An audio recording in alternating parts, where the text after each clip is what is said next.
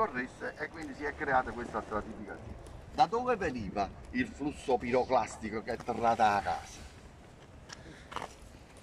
Là sto Vesuvio, ma dato che stanno in nuvole non avremmo, teniamo un indicatore, un povero albero, a cimmagliatori, Ah, quello è l'albero dell'epoca. l'albero dell'epoca che si è, è il calco dell'albero che si è solidificato sporta così perché questo flusso piroclastico ha scacciato a chiave quindi quello è un indicatore della direzione quello che è stato trovato questa vigne- questo vigneto che vedete qua attraverso Prego, il prego. terreno e attraverso il sistema della colatura di gesso si è risalita al tipo di radici Tipo di? che si è individuate che era una vite Ah. e si è risalita anche a che tipo di vite era Ah, vitigno.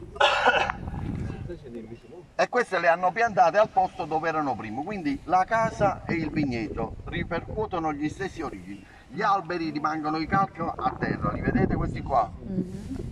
Andiamo a vedere da vicino.